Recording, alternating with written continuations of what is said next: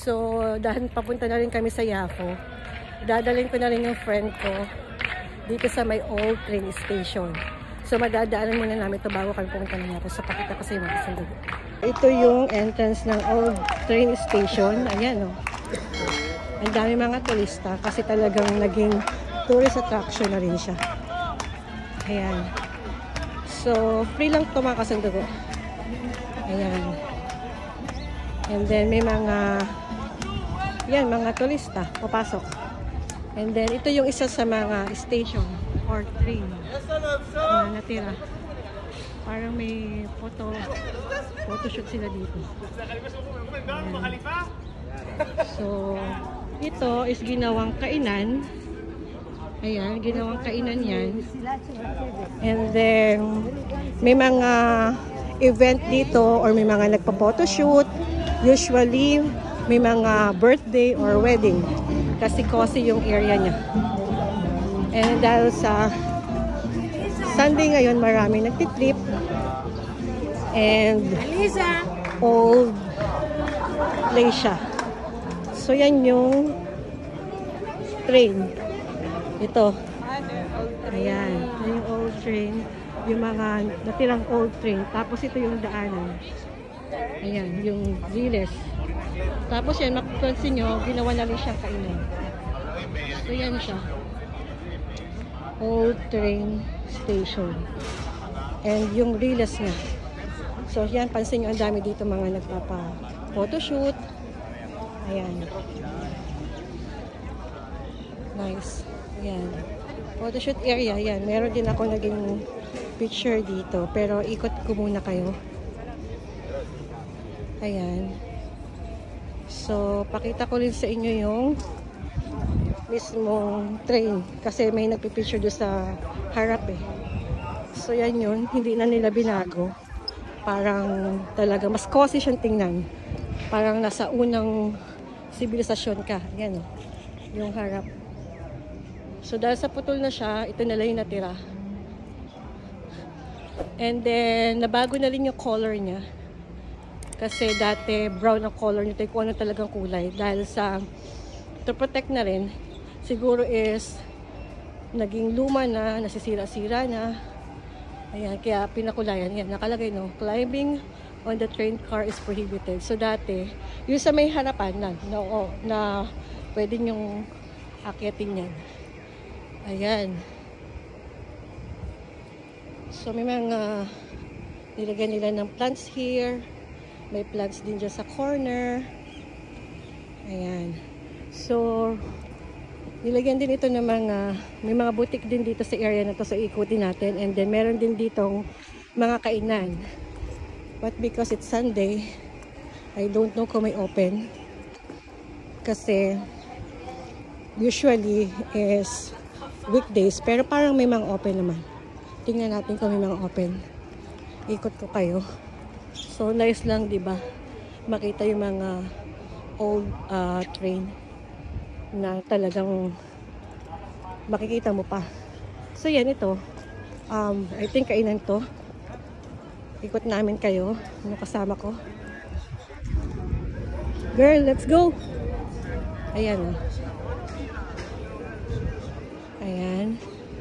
So, dahil sa maganda yung kalumaan ng area, nilagyan na rin nila ng mga ganyan. Butik. Kainan. Ito, kainan yan. Ayan. So, habang nagpo-photoshoot ka, yun, di ba, nice. Nilagyan ng garden. Habang nagpo-photoshoot ka, is, at nagutom ka, may kainan. Ayan. Ikot lang tayo dito. Ayan. Nice. So, hindi na tayo punta dito. May surf shop. Ayan. May bilihan dito ng Soho. Ikot namin kayo yan. May talagang butik siya. Ginawa siya ng butik area. Ayan. May art thinking. Ayan. Ah, malaki din pala to. Ayan o. Nice lang. Yan. Kainan talaga nilagyan ng kainan. Estrella Dam Barcelona. So, parang yun yung isang entrance dito. Mahilig din sila sa mga old na ganyan eh. You know, doon sa may papapasok ng shook, maraming ganyan eh. Ayan. So, di ba, pansinin nyo. Ang tibay ng mga ganitong rock nila, oh. So, masasabi mo, nasa old ano ka talaga, oh. Nice, oh. Para tayong bumabalik sa old. Tapos meron sila dito ang LGBTQ center. Ayan. Kasi open country siya. Ayan. Here. So, it's already open here. Palabas na.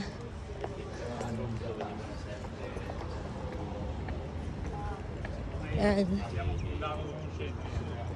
So, what is this one? Danger to death.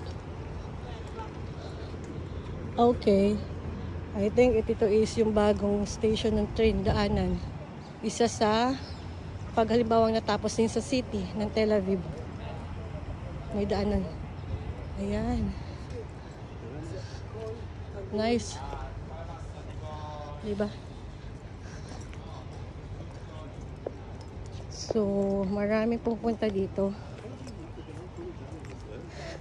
Dahil napaka ganda ng area para tayong pumupunta sa lumang panahon. Old era.